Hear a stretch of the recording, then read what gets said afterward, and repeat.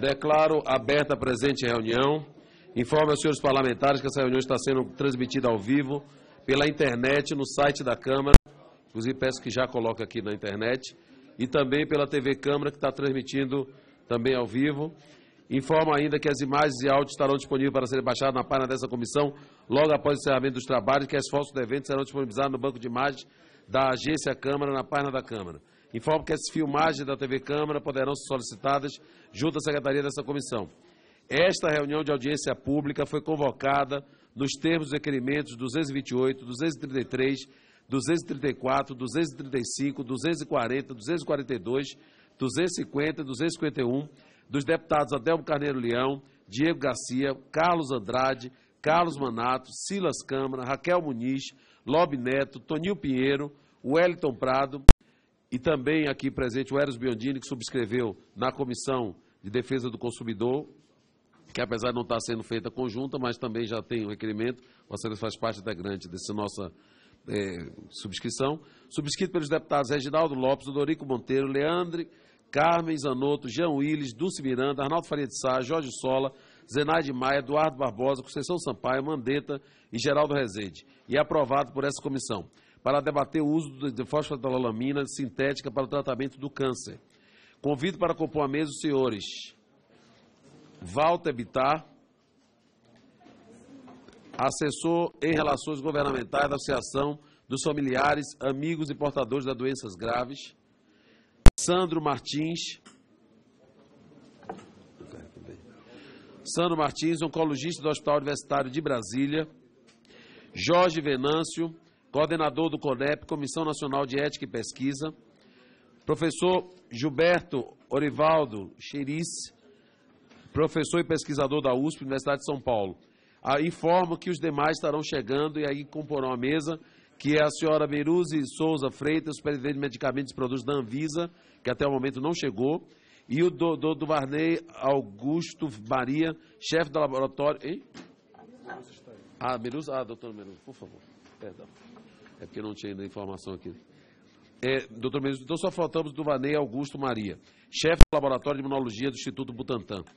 Eu gostaria, antes de passar a palavra aos, aos nossos convidados, ato contínuo, até eu estou sendo célere, porque nós temos duas mesas hoje, vamos ser rígidos no horário. Eu queria propor ao Odorico, é, deputado Odorico, que foi o deputado que organizou na, pela Subcomissão de Saúde esta reunião com, os, com todos os membros que organizaram, portanto, que solicitaram, que a gente colocasse, se assim todos concordassem, em vez, até por uma proposta do nosso Darciso Peronde, em vez de 15 minutos, 10 minutos, para que a gente pudesse explanar. Evidente que com possibilidade de avançar um pouco mais no horário, caso fosse necessário, mas porque nós temos 12 pessoas a falar e queremos ouvir a todos e fazer o debate. Pois não, presidente. Presidente, é, respeitando naturalmente todos os nossos convidados, mas eu penso que aqui... Interromper, então, eu queria que também, se fosse possível, que isso fosse tratado pela a, a, a equipe do Ministério com esse olhar, gente. Nós não estamos falando em interrupção de medicamentos. Obrigada. Muito obrigado, deputada Carmen. Agora, o doutor Daniel. Macedo. É, vamos lá tentar responder as questões. Em primeiro lugar, é, nós temos 140 milhões de brasileiros que se encaixam no perfil de assistido pela Defensoria. Levando em consideração que a Defensoria Pública da União cobre apenas 24% das sessões e subseções e que a Defensoria Pública do Estado cobre apenas 28%, eu posso afirmar para os senhores que essas pessoas que não têm dinheiro para pagar um advogado e também não têm uma defensoria estruturada e que precisam da fosfetolonamina, elas têm uma única certeza, elas vão a óbito. Elas estão alijadas do sistema é, do Poder Judiciário, não vão alcançar o Poder Judiciário. E aqueles que chegam ao Poder Judiciário, seja pela defensoria ou por um advogado particular, já também têm a certeza de que só vão obter essa substância daqui a dois ou três meses que é o tempo mais ou menos que da concessão da liminar se deferida até o recebimento da mesma pelos correios. E é assim que funciona. Uma liminar que é deferida, há uma ordem judicial direcionada ao Instituto de São Carlos, e uma vez intimado, o Instituto de São Carlos envia 60 cápsulas, que pode durar 10, 20 dias, pelos correios. E os correios não entregam em casa É bom frisar isso, não é isso? É, os Correios mandam para a agência mais próxima de onde está a pessoa. Eu tenho centenas de pessoas que sequer sabem que os Correios já enviaram. Doutor, doutor Daniel, me permite? Eu, inclusive, recebi um e-mail aqui, recebi um e-mail, no meu e-mail aí aberto, da pessoa dizendo assim, ó, Boa noite, senhores deputados e senadores. Peço que verifiquem e denunciem, e denunciem amanhã, na audiência da Câmara, o descaso com a fosfoetanolamina sintética. Vocês sabiam que a falta de matéria-prima na USP, a falta de matéria-prima na USP para a produção, descaso da reitoria, vocês sabiam que os Correios não estão entregando as encomendas SEDEX, estão retornando à USP? Vocês sabiam que ontem o TJ de São Paulo cancelou todas as liminares? Pelo amor de Deus, ajudem a gente ter uma última esperança de viver, pois a medicina tradicional já não resolve. A lei brasileira permite isso. Cadê os direitos humanos? Cadê a OAB? Cadê o STF? Cadê todo mundo? Ajudem-nos a viver. Então, só para reforçar aí as suas palavras. Obrigado, deputado Diego. É exatamente isso. É exatamente isso que vem ocorrendo. Então, hoje, a única forma de se obter a substância é por ordem judicial. É, no estado de São Paulo, por hora, todas as liminares estão suspensas. Se alguém ajuizar uma ação pelo Estado de São Paulo, certamente o juiz não vai se desalinhar do posicionamento da Corte Superior, que é o Tribunal de Justiça de São Paulo. Então, hoje, para obter essa substância, você tem que ajuizar uma ação perante um juízo federal, dentro ou fora do Estado de São Paulo, ou perante um juízo federal estadual fora do Estado de São Paulo. Esta é uma realidade quem fornece do próprio bolso, ou seja, quem está custeando esse composto é a equipe do Dr. Gilberto. Equipe do Dr. Gilberto. Eles levam lá no Instituto São Carlos. O Instituto São Carlos só entra com laboratório. E a permanência de um dos pesquisadores, que é titular da patente, Dr. Salvador. Eu já farmei isso na outra audiência. No dia que o doutor Salvador entrar de férias, entrar de licença ou passar mal, é, acabou. Acabou o fornecimento da substância. Porque somente ele tem autorização para fornecer, porque ele está com matrícula ativa na USP. Então, sai do bolso do doutor Gilberto os valores para custear esse composto. É, chega a ser caricato. Agora, é importante ressaltar que o Ministério da Saúde e a Anvisa, hoje eles têm que, hoje, nesta audiência, eles têm que apresentar, primeiro eles têm que sinalizar o seguinte, somos ou não a favor do fornecimento desta substância. Ou seja, em paralelo aos testes clínicos, as fases 1, 2, 3 e 4. Eles têm que se posicionar hoje, né? Diz que quem fica em cima do muro leva pedrada dos dois lados. Então tem que ter esse posicionamento, isso é de suma importância. Por quê? Hoje eu tenho só em uma vara 5.200 ações. 1.900 liminares concedidas. Essas pessoas começaram a receber a fosfoetalonamina sintética, já acabou a primeira remessa e agora estão esperando a segunda remessa, que não vai mais chegar. E aí eu estou do lado do Dr. Renato Meneghello, que afirma o seguinte: na minha opinião, se a pessoa deixa de tomar a substância, interrompe, o câncer pode voltar com maior agressividade. Os desembargadores do TJSP não pensaram nessa possibilidade. Pensaram só na possibilidade de que é possível que ela cause efeito colateral que sequer foi estudado. Mas não pensaram no sentido inverso, tá? Mas se interromper uh, o fornecimento da substância para quem já está fazendo a sua ingestão, será que o câncer não pode voltar com maior agressividade? E aí pode estar tirando, que é agravando a situação física e emocional de milhares de pessoas. Se em uma vara eu tenho 5.200 pessoas desesperadas, imagina nível Brasil neste momento. Seguramente, no mínimo, 70 mil pessoas estão, diante da repercussão dessa questão, lutando neste momento para obter essa substância. Somente quem fornece? Instituto de Química, um só, um só fornecedor, que é o doutor Salvador. Olha, o doutor Gilberto ele pode esclarecer é, mas um pesquisador, sozinho, ele fornece aí para 400 pessoas por mês. Agora, fica imaginando uma união, com toda a estrutura que ela tem, com diversos laboratórios, será que ela não consegue ampliar isso em larga escala? Pergunto, né? né? Será que em larga escala? Para ontem essas pessoas. Olha, não dá para esperar quatro anos. Não dá. Não dá para esperar 4, 5 anos.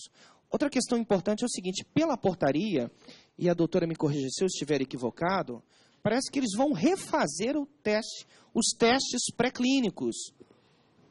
Testes pré-clínicos que, onde foram observados os protocolos internacionais. Há necessidade de se refazer os testes pré-clínicos?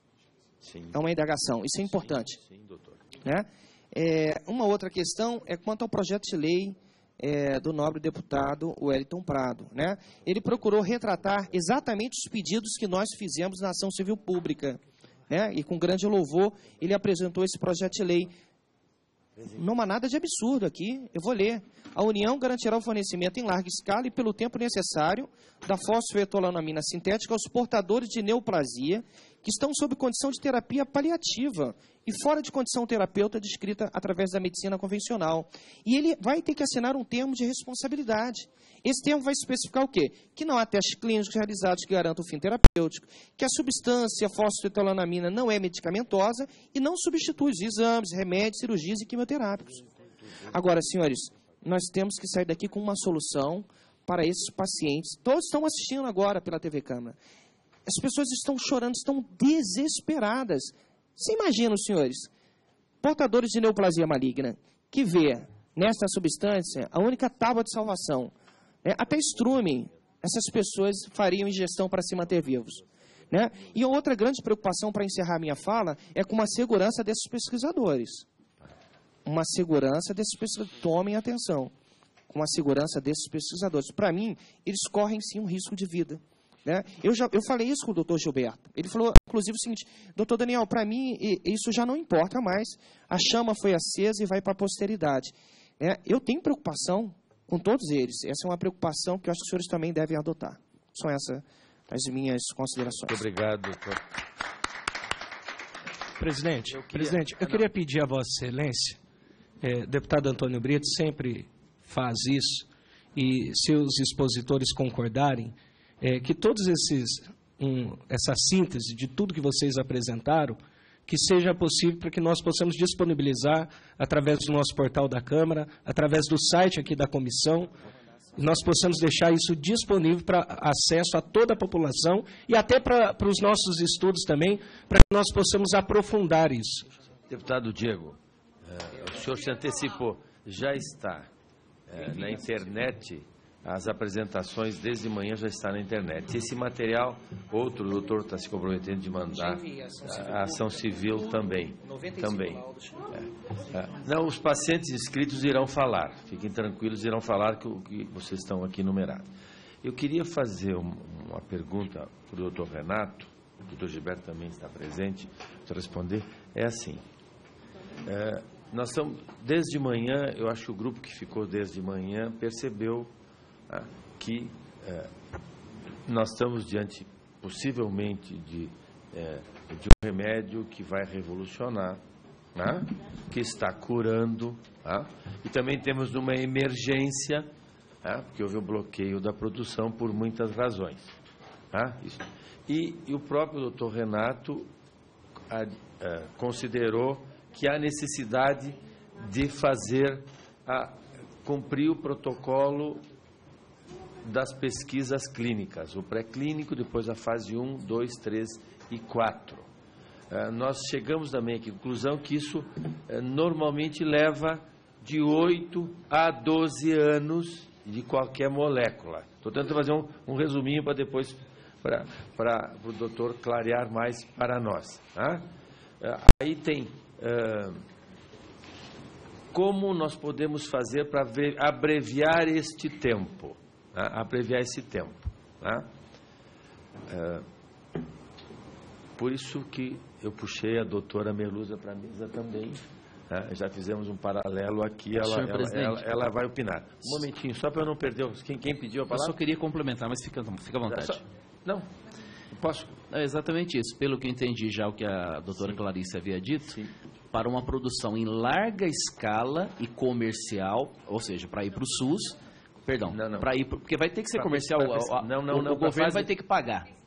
Não, Sim. Comercial não está na farmácia, mas. Sim, claro, mas o governo dinheiro. vai ter que pagar um, laboratório. Então, Sim. de comercial nesse sentido, ah, vai ter legal. que ser, vai, vai, des, vai depender de dinheiro. É, Para isso, esse protocolo dos cinco passos, aí sim eu acredito que é, é onde o doutor Renato havia dito. Mas para essa emergência, se Sim, for sim. voltar lá atrás, aí a gente joga por terra é, todo- o dia todo. Mas, é. Então, Não, então é, mas- essas fases todas. Só um momentinho agora, para eu não me perder. Pra eu não me perder. Deixa eu concluir.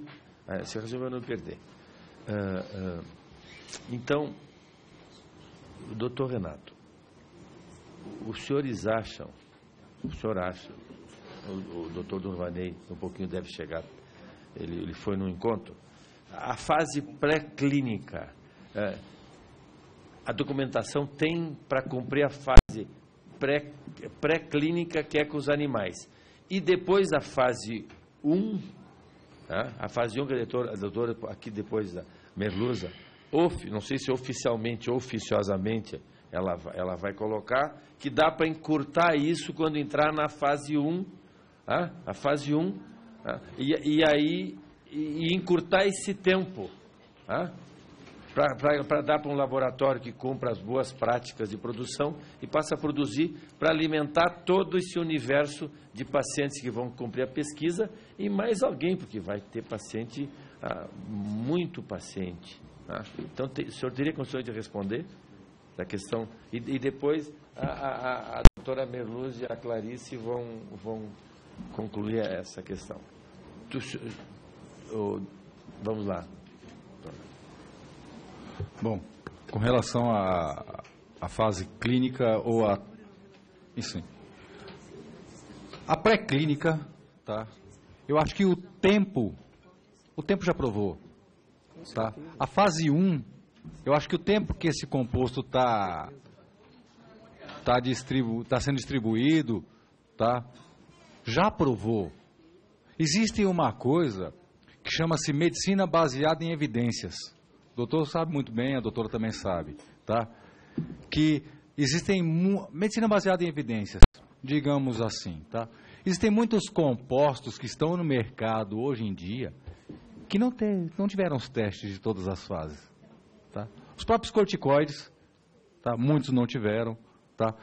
Muitos erros, mesmo assim, depois, o Vioxx foi um deles, tá? entre outros remédios, que vieram de fora. Agora, se nós é, temos consciência de que a fosfetanolamina, ela existe no corpo humano, nós já provamos que ela não é pró-oncogênica, tá? A gente já conseguiu comprovar de que se o corpo não absorve, ela vai ser excretada, que ela é inerte. Eu acho que a fase 1, que é exatamente a fase de toxicidade no indivíduo sadio, não sei se ela tem muito valor hoje em dia, tá? Porque se tivesse que ter toxicidade, o Marcos Vinícius, que não está aqui, infelizmente, que já usa ela há 12 anos, todos os dias, ele, o pai dele e a mãe dele, estariam doentes. Tá? Ah, mas fala assim, o, o papel da Anvisa, no, no caso, seria proteger o paciente de uma possível toxicidade de uma possível lesão do medicamento, certo? Por isso eh, tem aos, aos entraves burocráticos. Nós não estamos tratando pacientes rígidos, como o doutor Sandro falou. Nós estamos falando de pacientes com câncer. Tá? Se o paciente está com câncer, ele já não está rígido. Tá? Então, isso são, são um, umas coisas que não batem nos discursos. Nós não estamos falando de, de pirona. Nós não estamos falando de dor de cabeça. Tá? Nós estamos falando de uma doença terminal, mortal, letal.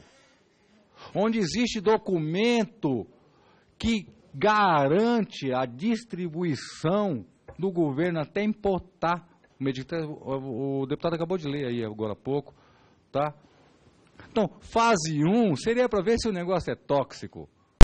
Tá?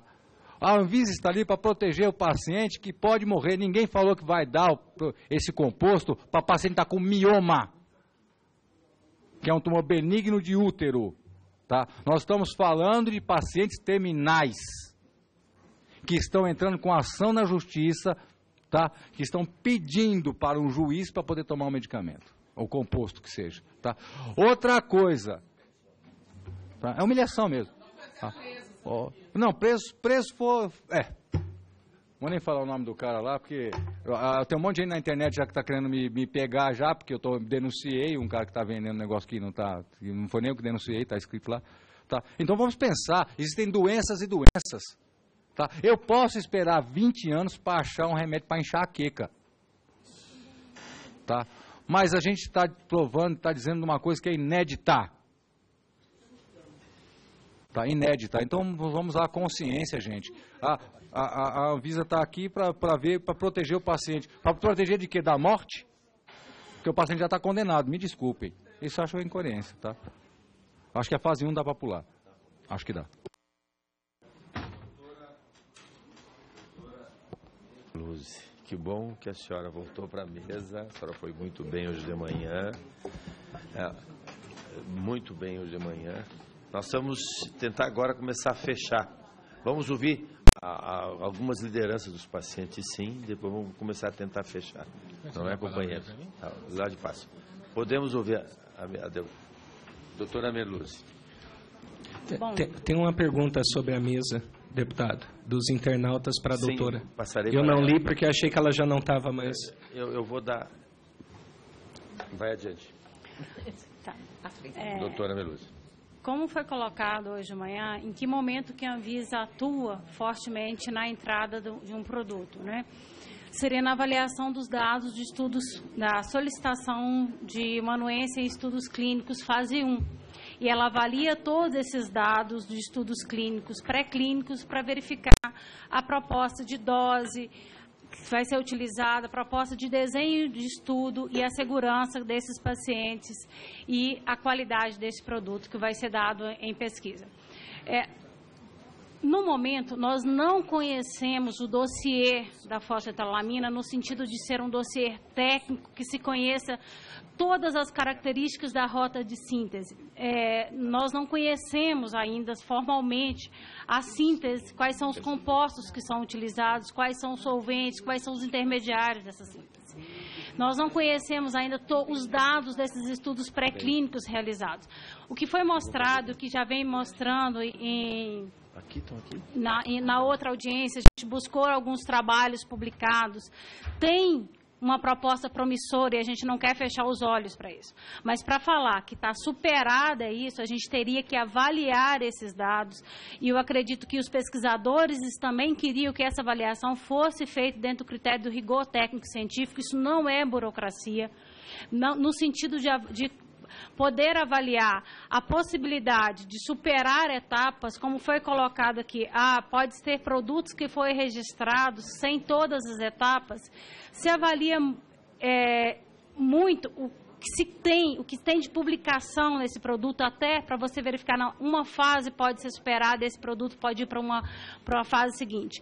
Foi colocado aqui no início da apresentação que, a, que essa, a proposta desse produto ele seria como uma molécula nova.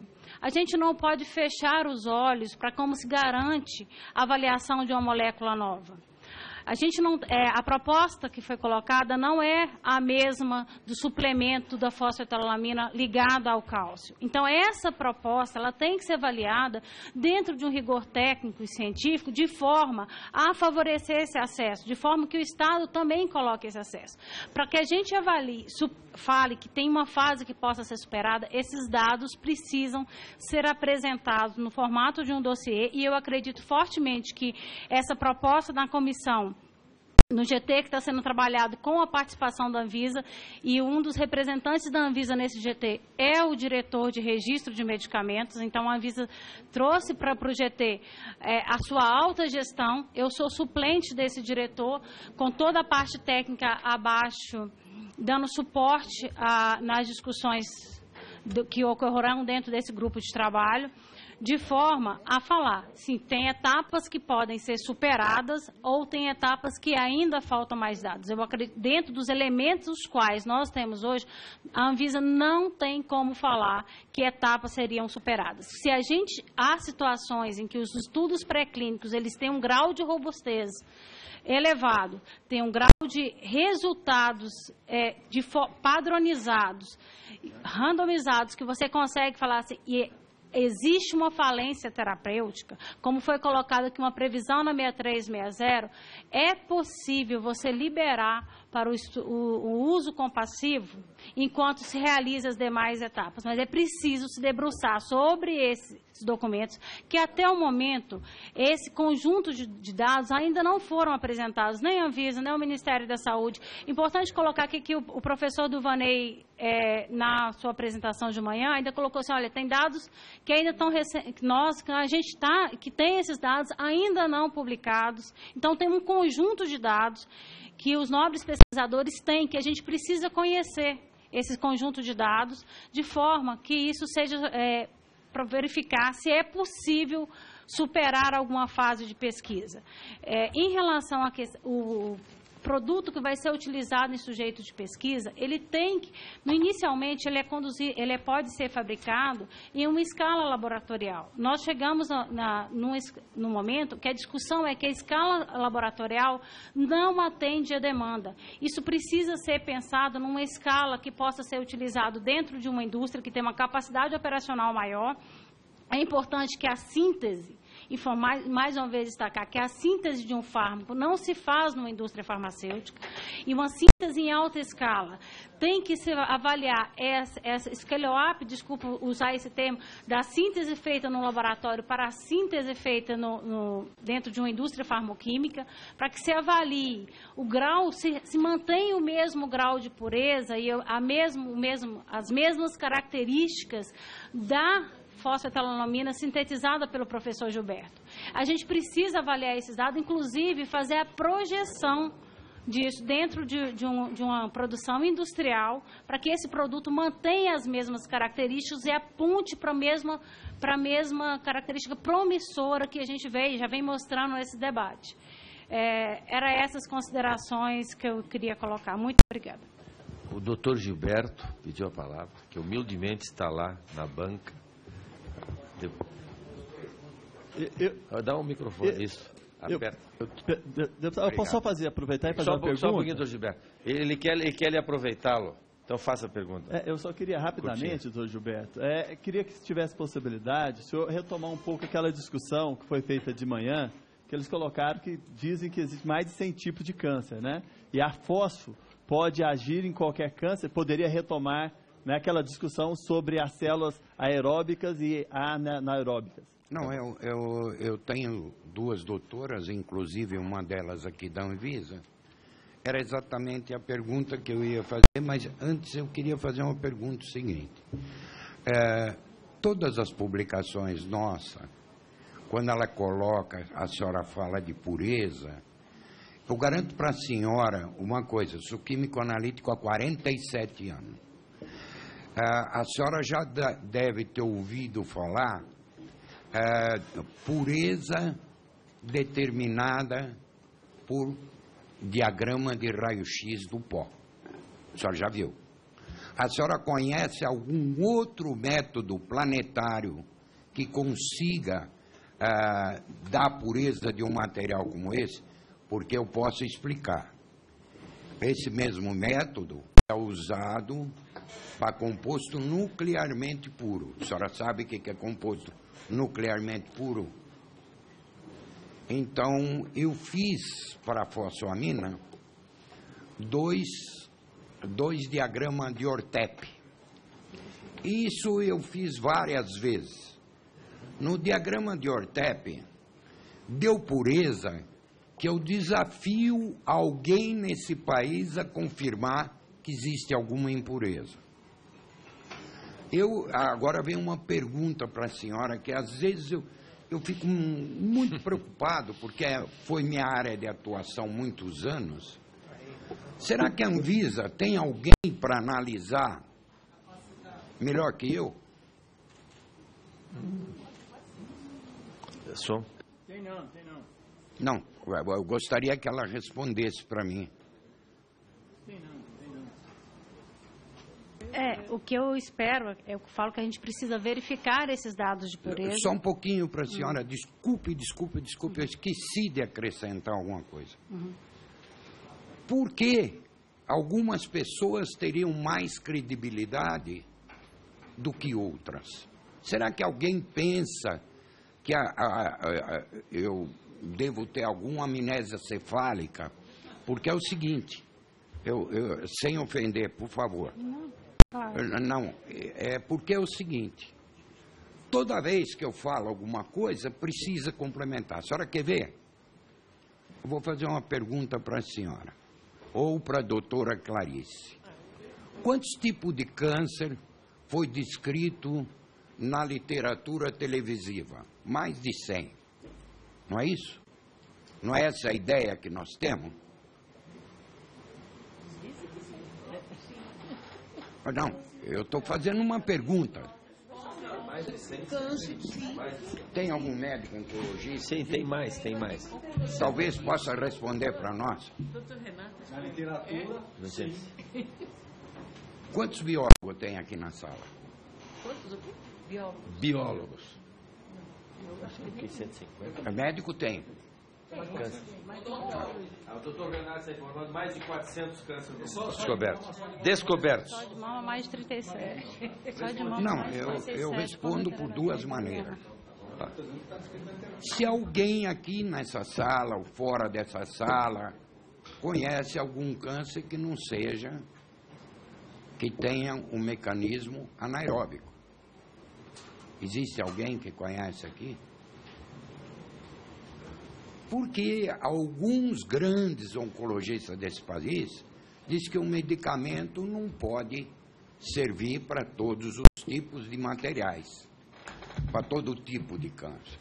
Inclusive, inclusive a, do, a doutora Meiruzi, pela TV não não é, pra, é só para complementar não, não. pela TV Câmara falou pela TV Câmara em reportagem hoje que não te, usando essa mesma indagação como pode um medicamento servir para todos os tipos de câncer está o registro é, é, é, não eu não ouvi eu estava aqui com vocês eu não vi nada mas o que eu quero uh, só certificar é o seguinte nós precisamos ser profissionais. Que tipo de profissionalismo tem que ter? Célula só respira de dois jeitos, aeróbico e anaeróbico. Não é possível qualquer menino que entrar numa universidade de biologia, de medicina, de odontologia, de farmácia, do diabo que for, ela vai aprender a falar em ciclos de Krebs que é o ciclo de alimentação de uma célula. Continua. Tá certo? Muito bem. Se. É fantástico. Não, não é eu que falo. Está na literatura desde 1920. Não fui eu que escrevi isso. Eu não escrevi é o que eu estou falando. Eu só estou comparando com o que eu li. Às vezes eu posso ter uma dislexia e ter lido errado, mas está lá. Para quem quiser ler. Porque eu tenho sempre perguntado para os colegas para mim não cometer engano. Existe algum tipo de câncer que não seja anaeróbico? Eu não consegui que nenhum. Existiu só uma oncologista em Santa Catarina, no Hospital do Estado, que disse: Não sei, acho que existe. Eu falei, doutor, eu preciso saber se existe ou não. Se não existe, eu estou certo. A, a teoria está correta. Se, eu, se existe, eu estou errado. Ela falou, não sei, não sei. Eu falei, bom, então vou continuar pensando que é anaeróbica. Porque todo mundo fala da célula ácida, é, tem um colega televisivo que veio, fez um discurso, é, etc. Tal. Esse mecanismo, senhores, para quem não percebe ciência, Durvanei provou ele inteiro. E ele fez uma brincadeira que nem todos nós aqui passamos por despercebido. Ele mexeu com mama, mexeu com carcinoma, mexeu com isso, mexeu com aquilo e ele passou sabão na nossa cara. Porque o que ele mostrou é exatamente o mecanismo anaeróbico. que qualquer lugar desse planeta reconheceria. Olha, eu vou cansar de defender. Eu só não defendo mais por causa de qualquer coisa. Agora, por favor, antes de falarem que tem 200 tipos de câncer, qualquer coisa, vão estudar a célula. É simples, é muito simples. E esse negócio de vamos ver se dá ou vamos ver se não dá, vai lá e faz. Eu acho que a melhor coisa do mundo é chegar e falar: Tó, não funciona. Ou não funciona aqui. Não funciona por causa disso, disso, disso e disso. Até agora nada. Isso é cansativo. E é, é, é um negócio que. que é um negócio que. é, essa discussão fica, fica, fica, fica. Tá bom. E não vai. E podem observar quando vocês quiserem. O marcador é específico. Ele é do, do tipo. Bem, muito obrigado, doutor. Doutor Gilberto, muito obrigado. Esse marcador é do tipo específico. Os americanos chamam de CD Cluster Definition. É o marcador efetivo. Nós não estamos percebendo. Por quê? Porque ninguém lê. Os gringos lá fora já perceberam que é uma definição, não é de criança, nem para ficar discutindo se existe alguma coisa. Procurem quem sabe e perguntem que é CD. Fosfamina é a identificadora do CD da célula cancerosa. Não tem mais discussão. Quer discutir? Discute lá fora. O resto é bobagem. Eu não queria falar isso aqui, porque aqui não é um lugar, aqui é um- uma coisa. Mas quando as coisas está tornando cansativo, vocês cansaram a gente de discutir a mesma coisa. Cansaram nossos colegas da Anvisa, do Ministério, nós, todo mundo que está aqui, repetindo, repetindo, repetindo. Para de repetição, leia. Existia um ditado de Vitor Hugo, de, é, que ele dizia, o povo não lê, quem lê pensa, quem pensa raciocina, o povo é proibido de raciocinar. Por favor.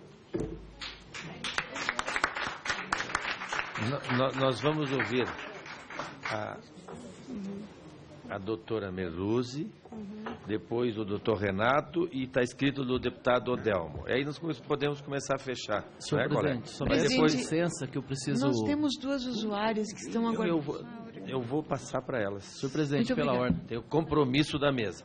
Vamos Somente lá. peço a doutora licença, senhor Merluzzi. Peço licença que eu preciso me retirar, que eu tenho horário de voo. Peço licença aos nossos convidados pela minha ausência nesse momento e agradeço atenção de todos também. E contem mais uma vez comigo e com o meu apoio para tudo aquilo que nós precisarmos aqui. Muito obrigado. Obrigado, deputado. Muito obrigado. Doutora Merluzzi da Anvisa.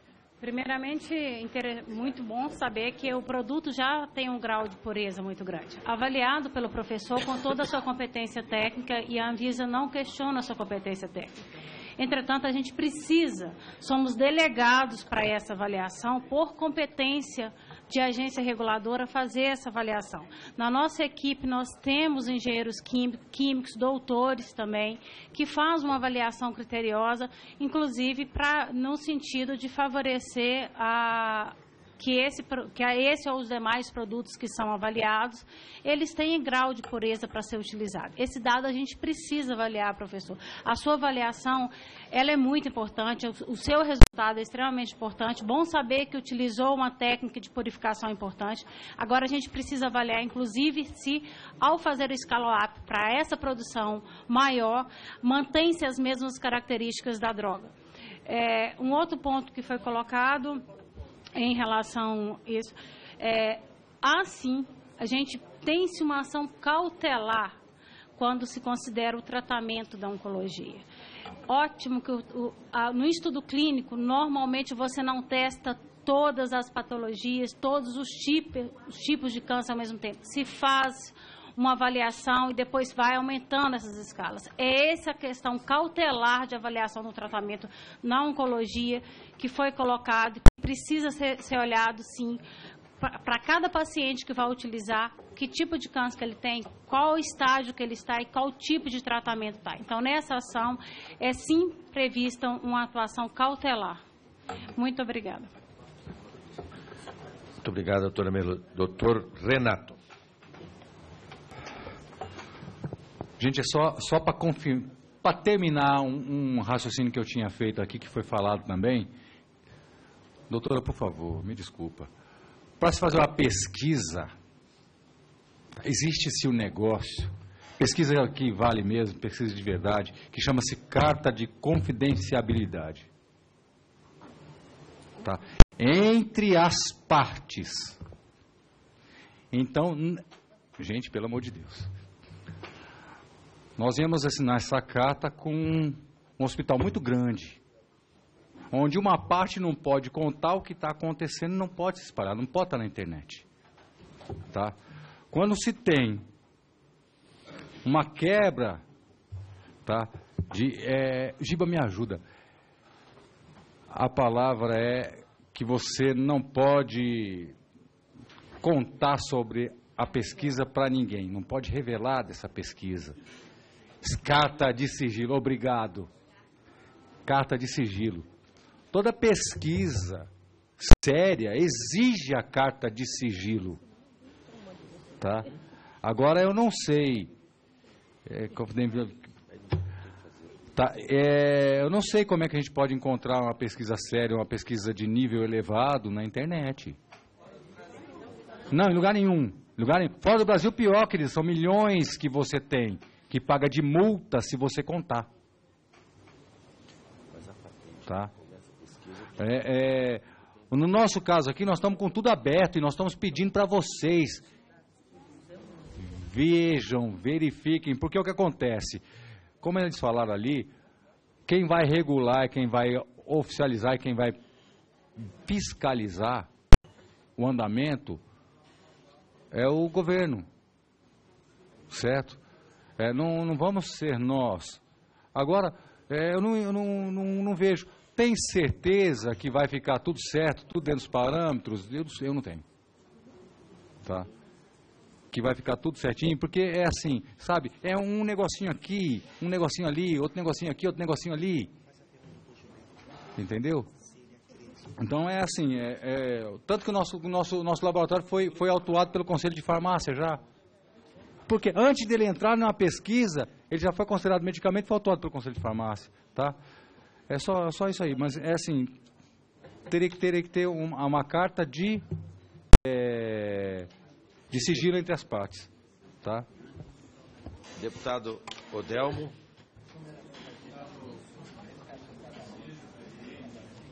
Eu queria, se eu puder falar depois, que depois delas, eu quero ouvi-las também. Depois eu falo. Tá.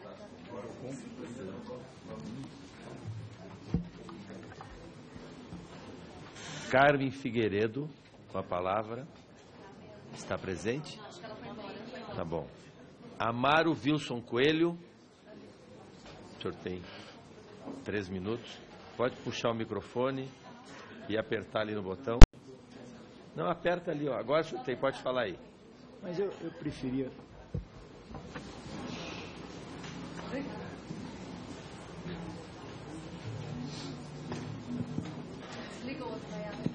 Alô?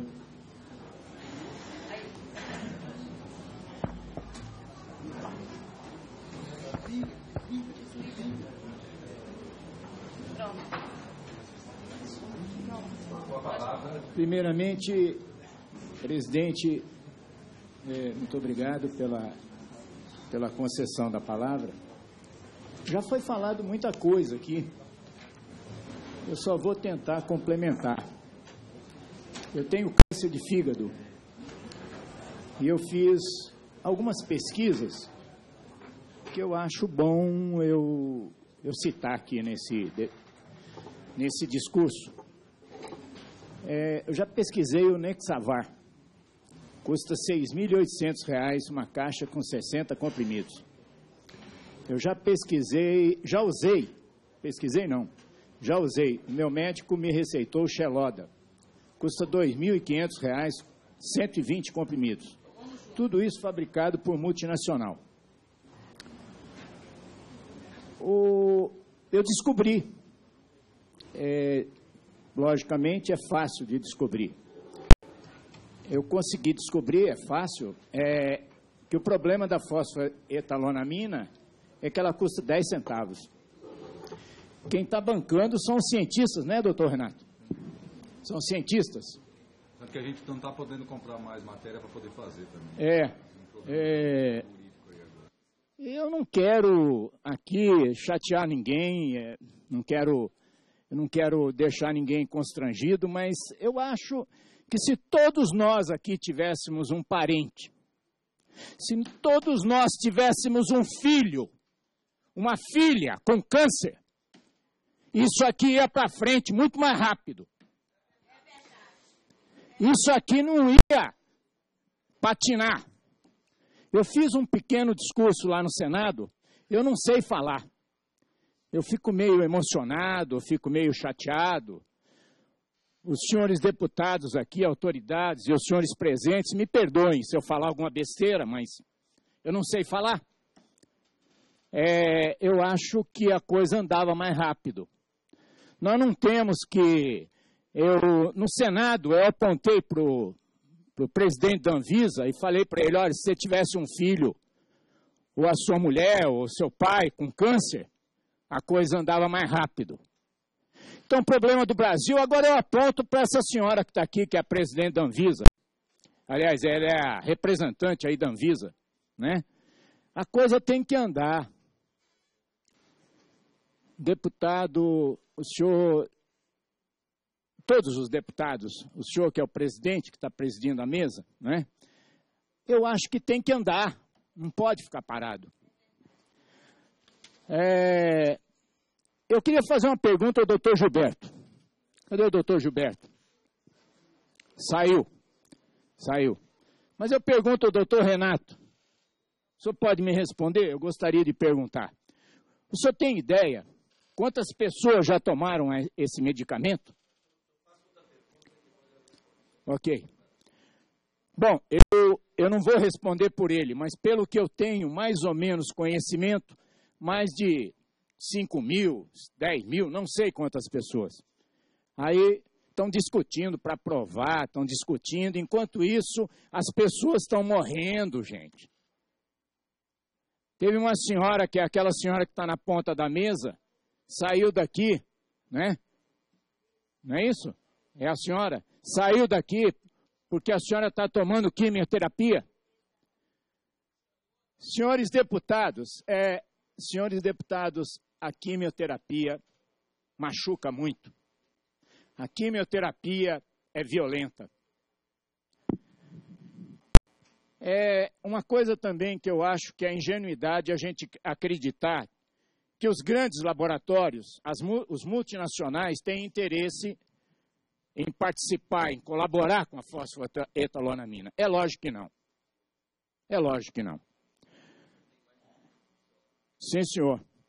A, a, a quimioterapia, ela dá reações como anemia, constipação, diarreia, dor de cabeça, fadiga, falta de ar, febre, um monte de coisas, além do custo que o pobre, se não conseguir, não consegue pagar porque custa 20 mil reais.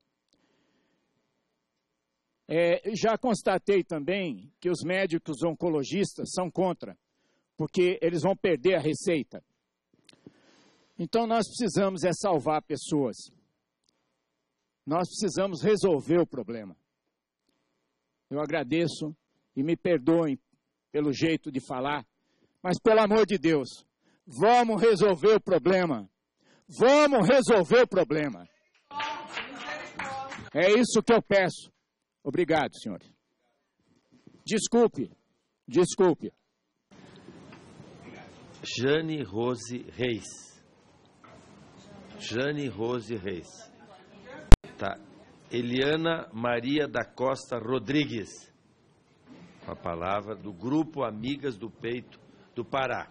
Exatamente. Alô. É, muito obrigado pela oportunidade que vocês, deputados, estão nos dando. Saúdo a todos, porque é muito difícil tratar sobre essa doença, câncer, que remete à morte, é agouro, né? Mas é, vocês falam, a gente vê a boa intenção de vocês, mas vocês não prestam atenção que vocês estão falando da nossa vida, do que nós, pacientes de câncer, passamos. Eu tenho um portocato, a minha amiga aqui, nós, nós já estamos na, na é, 59 quimioterapia e sessões de quimioterapia. Vocês não têm ideia do nosso sofrimento. Vocês não têm ideia do que é passar por uma quimioterapia. Quer dizer que isso é liberado uma droga que, que nos mata além dela nos curar, nos curar, mas ao mesmo tempo ela nos mata. E outra coisa, no meu estado, as medicações não chegam, tá? Foi cortada a medicação para o meu estado. Não, nem, nem isso não, não respeitam mais. Uma juíza, é, é presidente, com todo respeito, é, rotulam minutos para nós pacientes falar, mas deveriam também rotular os minutos que foram gastos aqui e não resolveram nada. Do nada ao lugar nenhum. E muito me admira, presidente, dessa casa, que quando eu fui decretada a morte por uma, por uma juíza, novamente estou sendo decretada a morte por mulheres. Isso é muito triste, porque ninguém se coloca no nosso lugar. Ninguém nos entende. Estão brincando com a nossa vida. E a nossa vida para nós, para nossa família, é muito importante.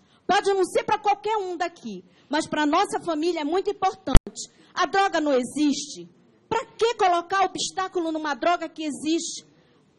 O, o doutor Renato aí já não falou da indicação, da posologia. O que querem mais?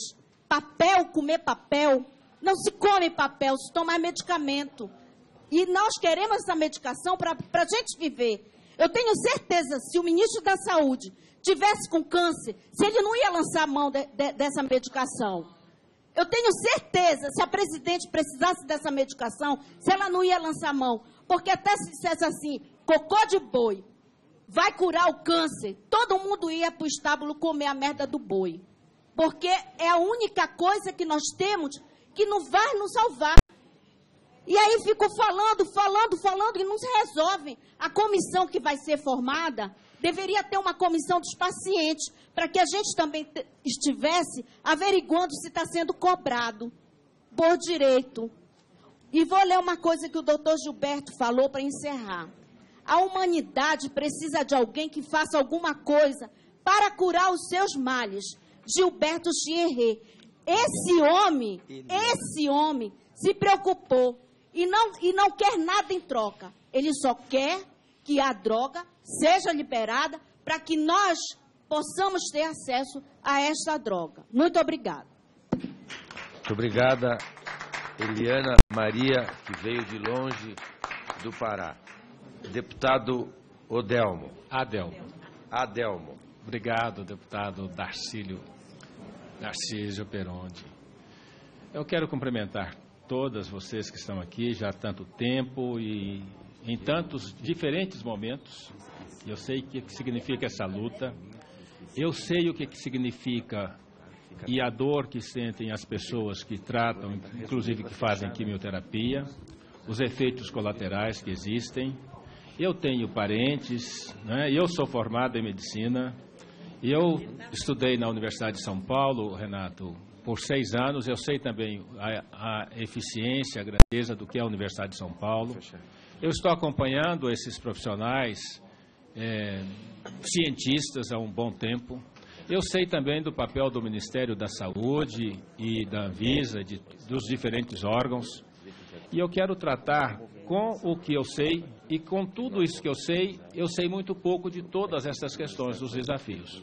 Nós estamos vivendo um processo, também sei do papel do Ministério Público, da Defensoria Pública, das ações judiciais que são emitidas aí em grande quantidade no país inteiro, por diferentes problemas, demandas, algumas absolutamente justas e necessárias para atender o direito fundamental da pessoa humana, outras muito mais para eh, atender também interesses econômicos. A gente conhece dessa realidade do país com a diversidade de interesses, de problemas, de desafios. Mas eu quero tratar dessa questão aqui com primeiro com a enorme esperança de que a fosfetanolamina seja realmente um composto e haverá de ser um medicamento revolucionário no que para o tratamento do câncer e quiçá de outros problemas, de outras doenças. Como eu tenho conversado muito com quem produz e quem está utilizando, é uma, é uma substância extremamente promissora, mas que carece realmente de todos os trabalhos, os passos que são exigidos pelos órgãos que nós montamos, não é uma invenção da Anvisa, do Ministério da Saúde, os passos que têm que serem dados para serem reconhecidos como atos necessários na defesa do interesse da, da, da pessoa humana. Não fosse a Anvisa, nós estaríamos aí, eventualmente, tomando e, e consumindo produtos absolutamente perigosos. Se tem é, burocracia, se é uma burocracia que eventualmente demora, que nós temos que aprimorar, eu também eu compartilho dessa ideia, que precisa de agilizar algumas situações. A situação da fosfetanolamina hoje no Brasil, ela não pode ser é, imposta como uma, uma, uma barreira da Anvisa ou de governo do Ministério. Nós temos 20 anos que isso está acontecendo e que depende dos órgãos de controle, que depende do Ministério, que depende da, de nós aqui, que depende das instituições, dos médicos, dos profissionais. E nesse contexto eu queria, primeiro, dialogar com o Renato Meneghello, dizendo, e você tem várias, vários dados muito positivos, que são animadores. Eu queria sugerir, você citou aqui que tem algumas pessoas que estão tomando a fosfenol, é, fosfetanolamina há mais de 10 anos, que a gente pudesse ter um protocolo de análises laboratoriais, clínicas, destas pessoas. Como que está não é, a sua estrutura biológica, o sangue, o, né, o, o colesterol, todos esses fatores, porque isso vai somando no protocolo informações importantes para eventualmente a gente poder reafirmar através de documentos o que, que significa o uso desta substância durante tanto tempo em relação à vida das pessoas. Né? O risco que eventualmente tem, o Durvaney colocou, fez uma análise que eu acho que assim as pesquisas do Durvaney são extraordinárias, são extraordinárias, merecedoras de uma atenção muito especial, são muito expressivas, mostrando que esta substância tem efeitos muito consistentes no combate a diversos tipos de tumores. Também eu não sou parceiro da ideia de que nós tendo mais de 100, 200, 300, 400 formas de câncer, nós temos que ter 300 fórmulas diferentes para tratá-lo. Não é assim que a ciência faz. Certamente, nesses diferentes tipos, existem drogas que são específicas, pelo menos que são aplicadas numa diversidade. O câncer de mama, para cada forma, tem um, um, um, um quimioterápico? Não tem. O quimioterápico que é utilizado é um químico terápico que eventualmente é universal para essa situação. Mas tem diferenças, certamente também na, na, na origem e na evolução do câncer, nós temos que levar em consideração se na sua origem o efeito de um determinado produto, Darcísio, é mais efetivo do que depois que ele está avançado. Então nós temos uma diversidade de situações que exigem de nós a, a primeiro a humildade, né? e primeiro essa compreensão da necessidade de nós investigarmos. E eu fico muito incomodado quando a gente, tratando de uma substância tão promissora como esta, a gente utilize esse momento para atacar a Anvisa ou para atacar o governo. Falar, o que, é que o governo está fazendo? Pode existir, isso exige de nós uma condição para mais do que a gente atacar e ver os defeitos que tem, ou vendo os defeitos que tem, a gente sinalizar as alternativas positivas, olhar para o lado positivo.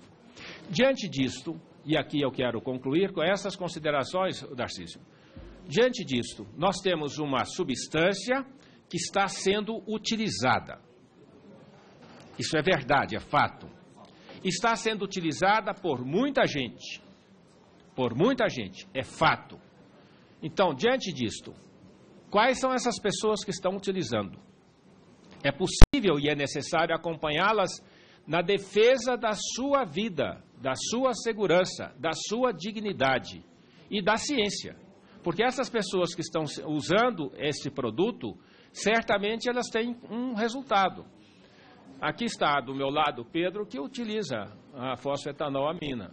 É preciso que ele seja acompanhado. Então a responsabilidade não é só da Anvisa.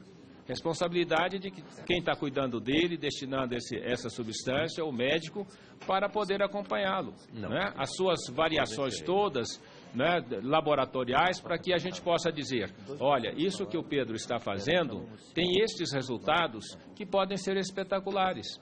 Isso é muito importante. E todos os, todas as variáveis medidas. E todas as outras pessoas. Mais ainda, nós temos pessoas que eventualmente querem usá-las usar a fosfetanolamina, e diante desse, é, dessa situação espetacular que está, nós estamos vivendo, nós temos que definir e nós temos que garantir, através da ação de governo, através da ação do Estado, através da ação da medicina, que esse produto tem uma origem certificada e conhecida. Eu, é,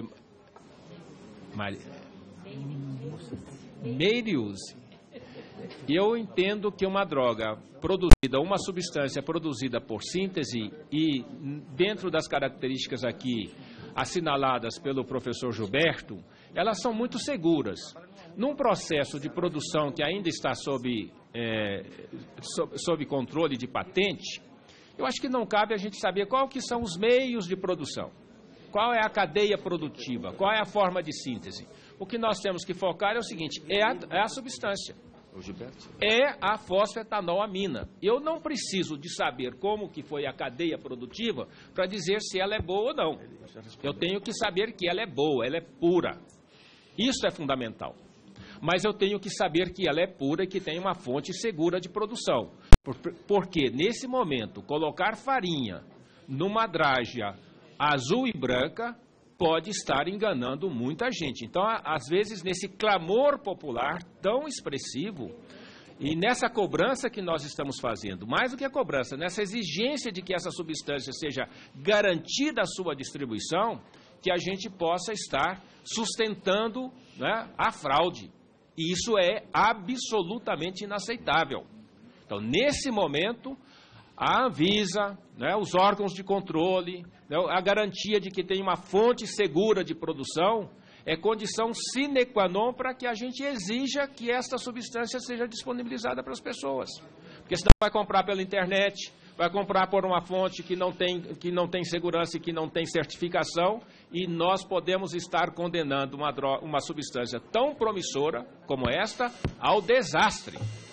E é isso que eu quero chamar a atenção. Então eu quero é, encerrar dizendo: todas as pessoas que estão tomando neste momento, mesmo que não haja liberação da, da Visa, reconhecimento de que ainda é, um, é uma droga, mas os dados têm que garantir que esta substância seja disponibilizada, que as pessoas tenham acompanhamento e que haja garantia de que o produto não esteja contaminado por quaisquer interesses. Quaisquer interesses. Muito obrigado, deputado Adel. Não, eu toquei a campainha pelo silêncio. Não, o senhor encerrou? Muito obrigado, o senhor foi brilhante. Chegamos ao fim. A, a deputada Carmen está me lembrando. E eu puxei também a memória. Eu acho que essa audiência que começou 9 e 25 começou cedo, não começou às 10, 9 e 25 e está encerrando agora, ela superou a uma, uma audiência que nós fizemos aqui, que, que ninguém almoçou, foi quando nós reunimos uh, os lutadores da luta anti-tabaco, que passava por médicos, deputados, uh, ONGs com a indústria. E com a indústria. E trabalhamos das 10 às 6 da tarde, aproximadamente, sem almoçar. E hoje repetimos com mais tempo. Então, parabéns a todos que vieram aqui, né, que estão aqui ainda, né, aos telespectadores, e repito, lembrando o deputado Diego, que todas as apresentações já estão na internet, né, que nós tiver amanhã é só acessar a Câmara poderá receber o material que o doutor Sandro Macedo também está pondo à disposição. O que, que aconteceu aqui? Eu acho que foi um dia memorável de comemorar. Tá.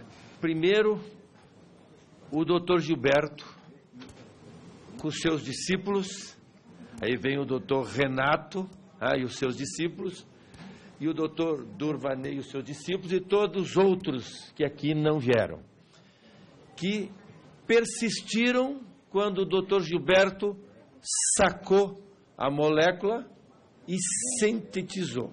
Ah? E persistiu.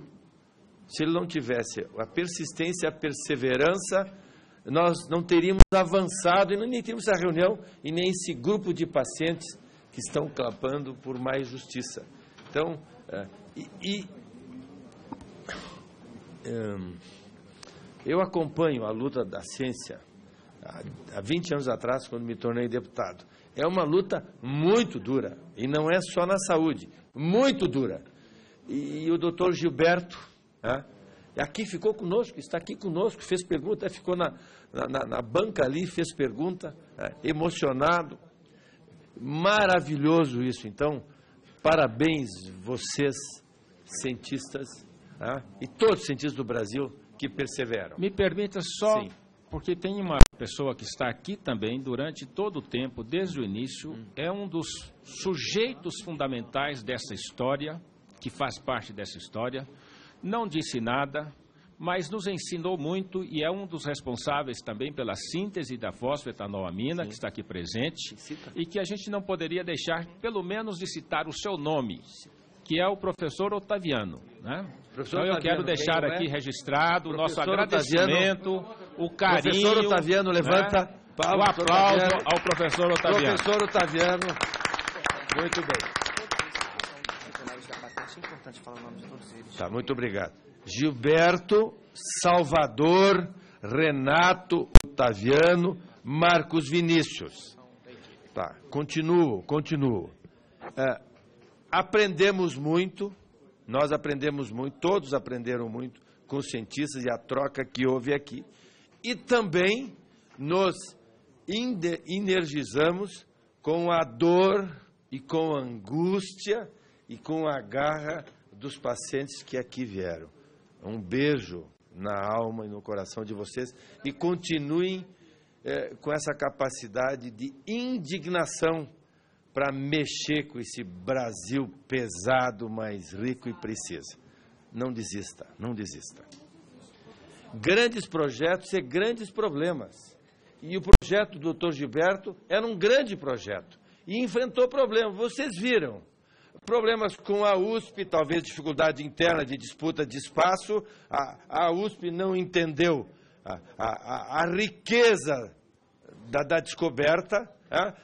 O contato com a Fiocruz, a Fiocruz é maravilhosa, mas não houve percepção né? o que a, a, riqueza que estava sendo apresentada para a Fiocruz, né? e talvez os próprios cientistas não conseguiram mostrar. Né? Então, ali se perdeu uma oportunidade.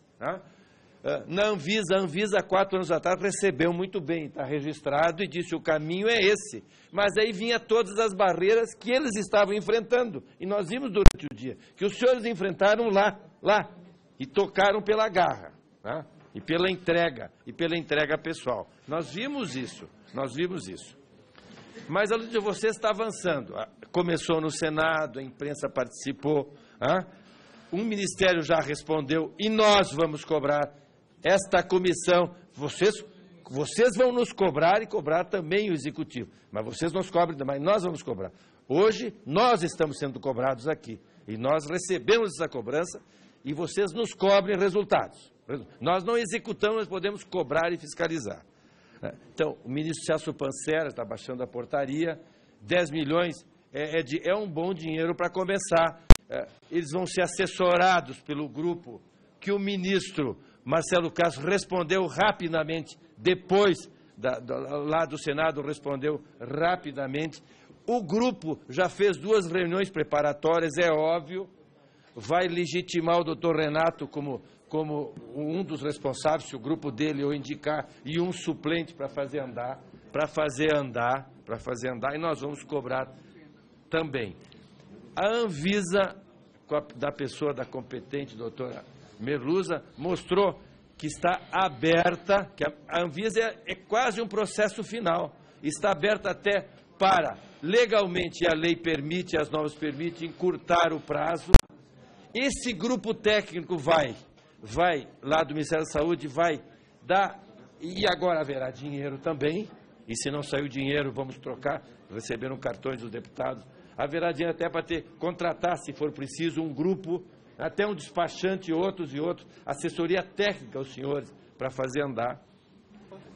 A, a, a inteligência dos cientistas, a, a inteligência, não faltou humildade para os cientistas, tá? o doutor Renato viu que precisa agora, para completar essa extraordinária descoberta, os estudos de pesquisa clínica, que eles avançaram quase sem perna, mas com muito coração. Nas pernas foi isso. O sistema não deu as pernas, mas vocês conseguiram andar com as próprias pernas. Isso vai acontecer também e houve humildade para isso. Eu acho que é e, é este o resumo. Né? Não sei se, se, eu, se eu deixei algo para trás.